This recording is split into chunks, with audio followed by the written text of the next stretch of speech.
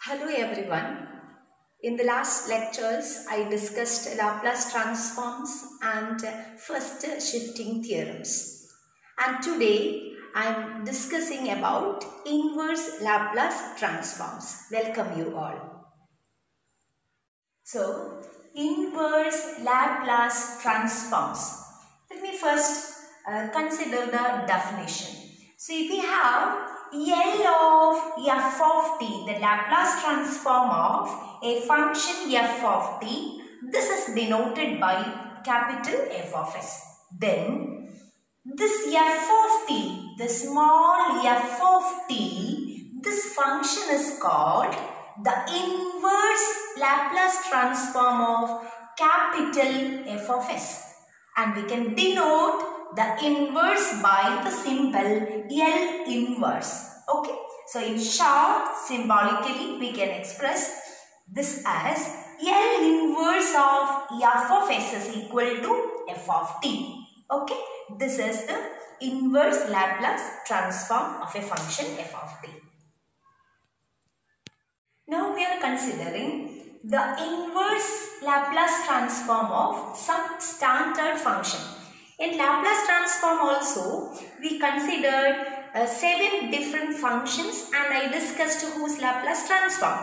And here also, we are considering seven such results. So, in the previous result, when I am giving you the RHS, can you say the LHS? So, like that, we are writing all these seven results. Okay, you just go through these results.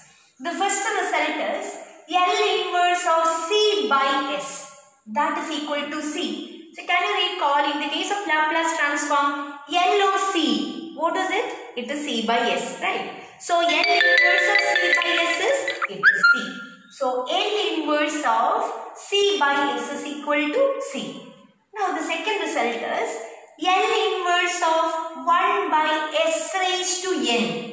L inverse of 1 by S raised to N. What is its inverse? Its inverse is t raised to n minus 1 divided by n minus 1 factorial. t raised to n minus 1 divided by n minus 1 factorial. We know this is applicable for all the positive integers. Okay.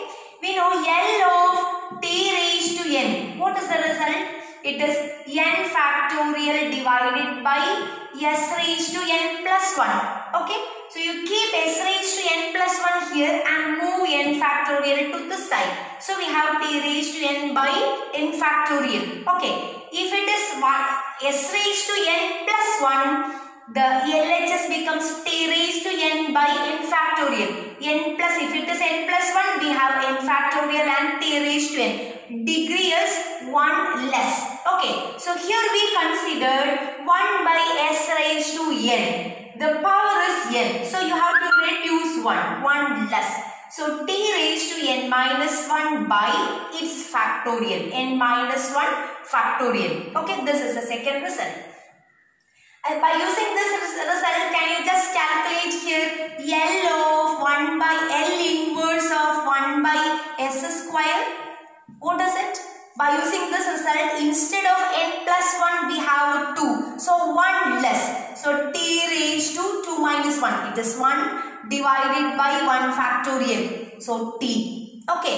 What is L inverse of 1 by s cube if the power is 3? This is equal to t square divided by 2 factorial. So like this we can evaluate L inverse of 1 by s raised to n. Now look at the next result. See for what function the Laplace transform is 1 by s minus a. Can you recall this?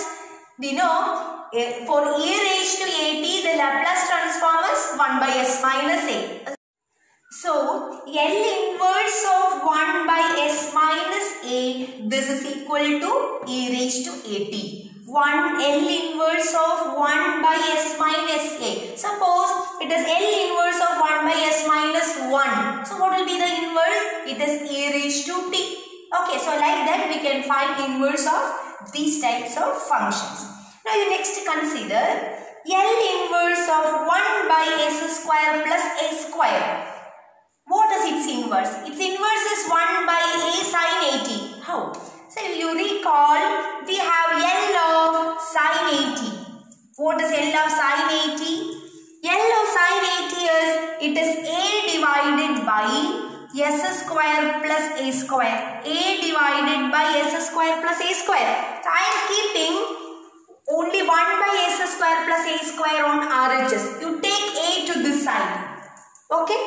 Then if you are applying L inverse on both sides. See L inverse on both sides. So we have L, L inverse and here also inverse. I am taking L inverse on both sides. L, L inverse get cancelled. And here we have L inverse of 1 by S square plus A square. When you are taking A to this side, it is sine at by A. So that I wrote here. 1 by A sine at. So always remember L inverse of 1 by S square plus A square is 1 by A sine at. Okay, so what will be 1 by S square plus 4? If it is S square plus 4, the result is 1 by 2 sine 2t. 1 by 2 sine 2t. Okay, so this is inverse of 1 by s square plus a square. Now come to this result. L inverse of s by s square plus a square. We know if s is in the numerator, surely the function is cos. Okay. For L of cos at, the result is s by s square plus a square. Therefore, L inverse of s by s square plus a square is nothing but cos at. Okay. Now next up. L inverse of 1 by s square minus a square. If minus we have in the denominator, surely that is a hyperbolic cos or sine. Now look at the numerator. It is 1. Okay. If it is a, we have sin h and that a we should divide in this case. Okay. So for L inverse of 1 by s square minus a square, the result is 1 by a sin h at. Sin h means it is the hyperbolic sine function. Now the last result, L inverse of s by s square minus a square. Since it is minus, surely it is sin h or cos h. Now look at the numerator, it is not constant but the parameter yes. So, so surely it is cos h at. Cos h means it is a hyperbolic cosine. So L inverse of s by s square minus a square is equal to cos h at. See we need all these seven results in order to do problems based on inverse Laplace functions.